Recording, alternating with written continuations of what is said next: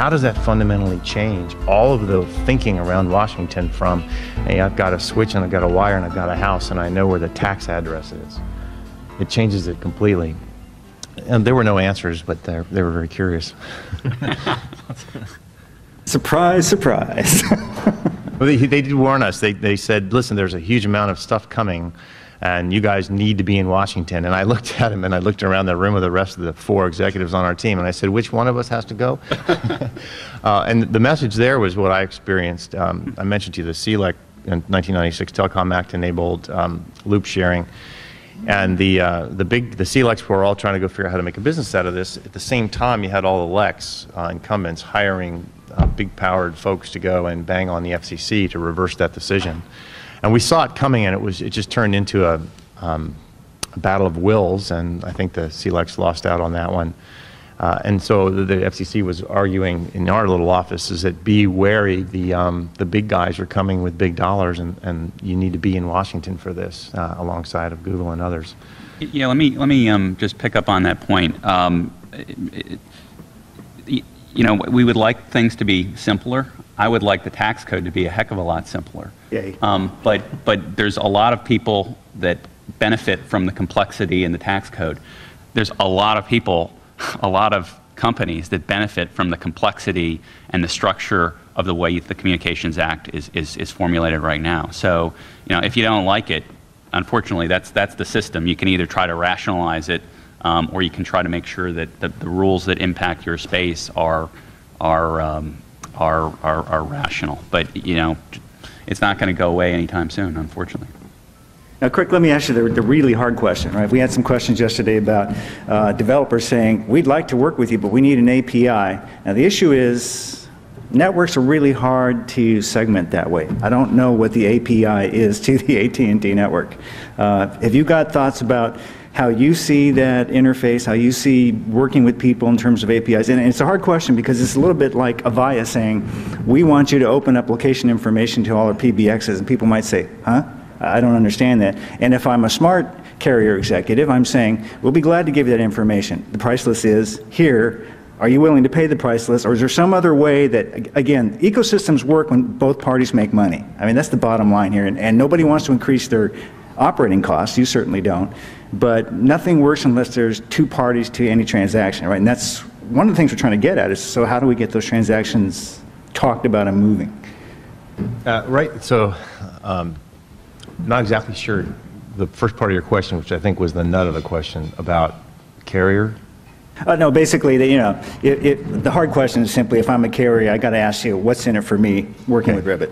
Uh, so. Um, the way the carriers work today is you go get the, the wholesale department and you sign a contract and you agree to buy zillions of minutes and you negotiate a price on it.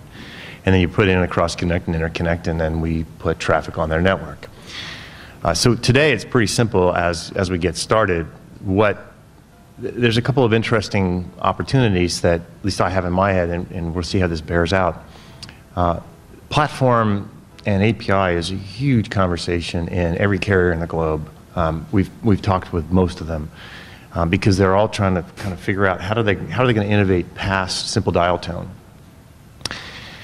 Um, and we're offering a, a, solution to do that. And there's the question that you're asking is what's the economic stack? So you've got all the transport origination termination costs down here at the bottom. You have somebody paying um, a high value product. We, we introduced Ribbit for Salesforce. Salesforce costs 80 to $130 per subscriber per month just, just to have Salesforce. And um, those subscribers are now paying somewhere around $40 a month to get the Ribbit added on.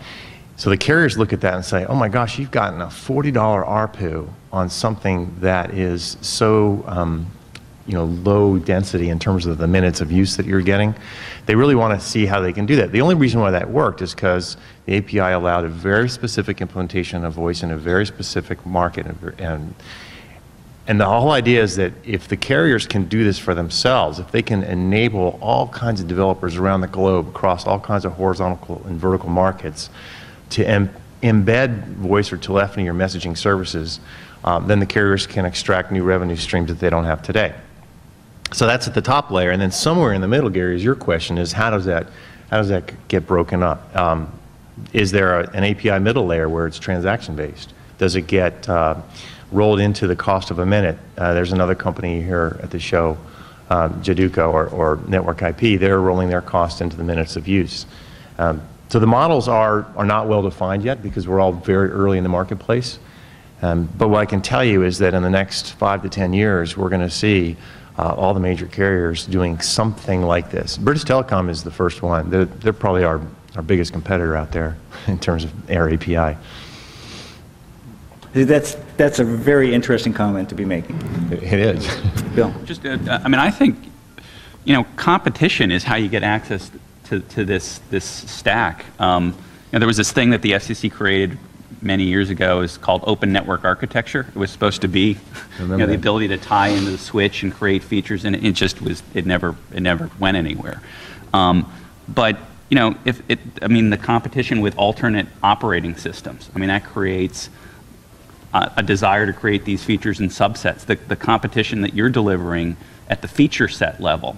Um, the competition that the 96 Telecom Act introduced, where we had competitive local exchange carriers. I mean, I remember, I mean, way back in the day, it was, it was illegal to provide a competitive local service.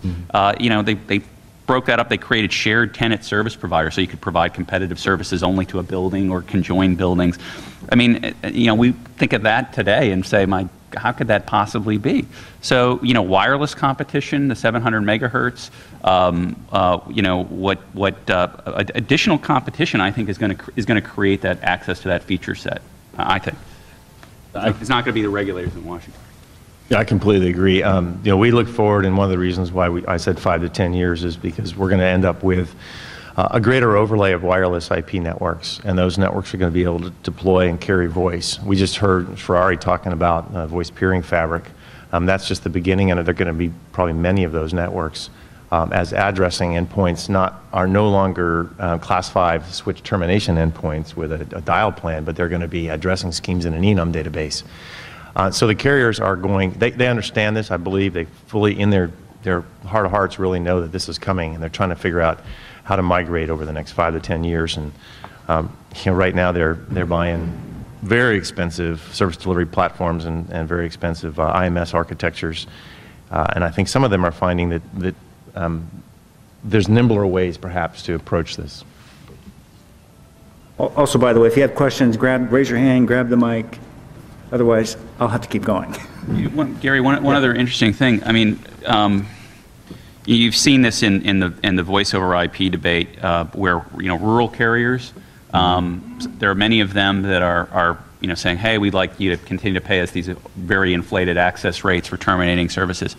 There are other providers out there that are saying, "Hey, if you can't beat them, join them. Let's create our own service. Let's expand outside of our territory because these these services and features allow us to immediately expand our, our market opportunity. So if, you know, if I were a rural telco out there or a rural wireless operator, I'd say, let me go into the feature business. Let me, let me create access to all these features. Let me expand my market because I don't actually need to you know, build out a facility. Um, be an, become an attacker rather than a defender. And that's very difficult to do it. But if some of them have done it and they're, and they're actually prospering. So for those of you that are looking to get access to some of these features, you can't get them from a, a major carrier. I'd say, you know, talk to some of the, talk to some of these, these, these rural carriers. You don't think of them as competitors because they're, they're geographically limited, but they're, they, you know, they do have access to interconnection. They do have roaming rights, uh, and they can, they can provide these uh, capabilities. One of the things that's sort of interesting, aside from having come out of the cable industry, I also was part of a startup, uh, CLEC, so I sort of understand the CLEC point of view of looking at the world. And one of the things that it turns out in retrospect, after burning through billions of dollars wastefully, uh, uh, we discovered was one of the problems with the way we were approaching the market was we were going to approach it as same set of services, equivalent quality, lower price. And it's logical. Everyone always does that. That doesn't work. It doesn't work because in, in, in truth, the incumbents will simply lower their prices to match yours and you die, right? So one of the things that is really attracted to me about open networks and open platforms is for the first time, um, you don't have a situation where I buy a Nortel and my feature set is what Nortel gives me. I don't buy a Lucent 5e, and my feature set is what Lucent gives me. I don't buy whatever device it is, and I have what all the rest of you have because it's the same stuff.